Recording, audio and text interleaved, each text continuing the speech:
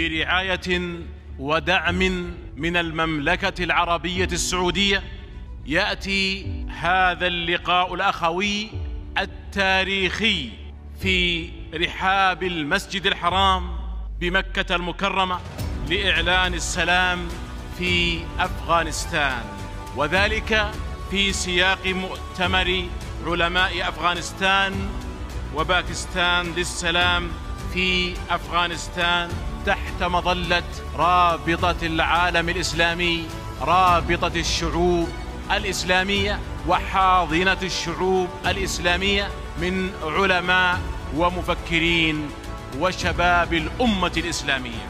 إن السلام الأخوي بإيمانه الراسخ وعزيمته الصادقة وعهده المسؤول وفي رحاب القبلة الجامعة حيث بركت النفحات الربانية وعظمت القدسية التي جعلت من هذه العزيمة ميثاقا غليظا ينهض به بعون الله تعالى هؤلاء العلماء الربانيون.